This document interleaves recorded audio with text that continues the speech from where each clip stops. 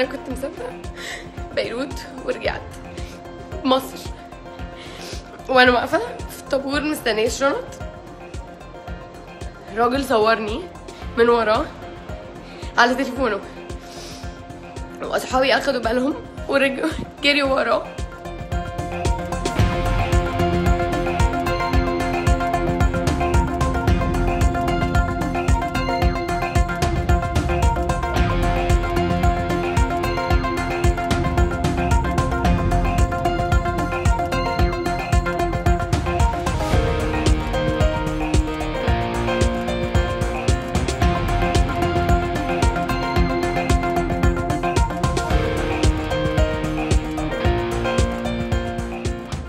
الواقع حسب ما جه وصفها في الجرائد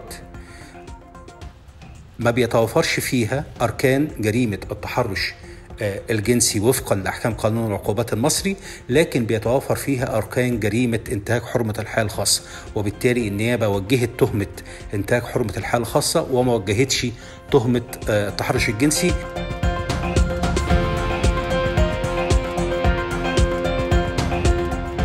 آه، التصوير آه،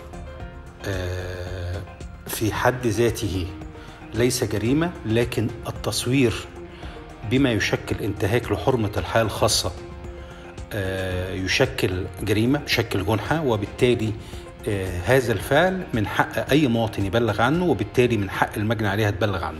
فالقانون في الحالة دي واضح وصريح.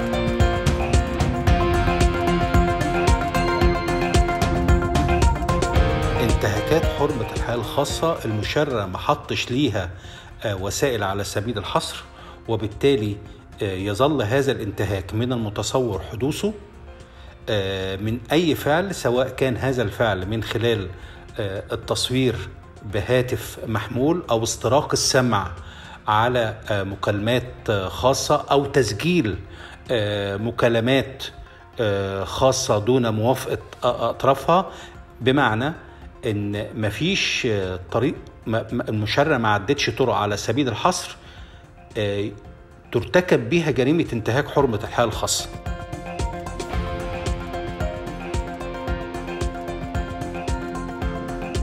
آه، أهم النصائح اللي نوجهها لأي فتاة أن تعلم أن حق الإبلاغ هو حق كفله الدستور وكفله القانون.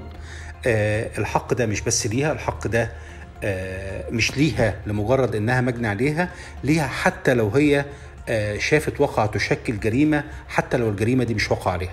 لكل شخص عالم آه، لكل شخص عالم بوقوع جريمة آه، يجوز النيابة العامة أن تحرك الدعوة الجنائية عليها أن يتقدم ببلاغ. ده حق الإبلاغ. فبالتالي لازم تبقى عارفة كويس قوي وهي بتتعامل مع مأمور الضبط القضائي أن من حقها الإبلاغ.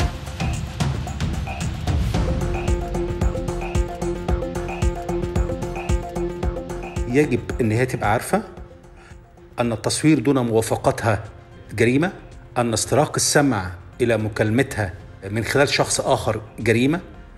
طبعا ده بالإضافة للجرائم العادية الخاصة بوسائل الاتصالات اللي هي ممكن تتضمن آه، إرسال رسائل أو أو شات. أي حاجة من هذه الوقائع بتشكل جريمة يحق ليها إن هي تقدم آه، بلاغ عنها.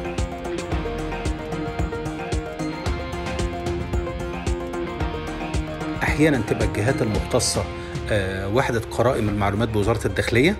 أحيانا يبقى الأسام العادي أو النيابة ايا ما كان فف- فأي فعل من دول بيعد جريمة من حقها. لازم تبقى عارفة إن من حقها إن هي تقدم بلاغ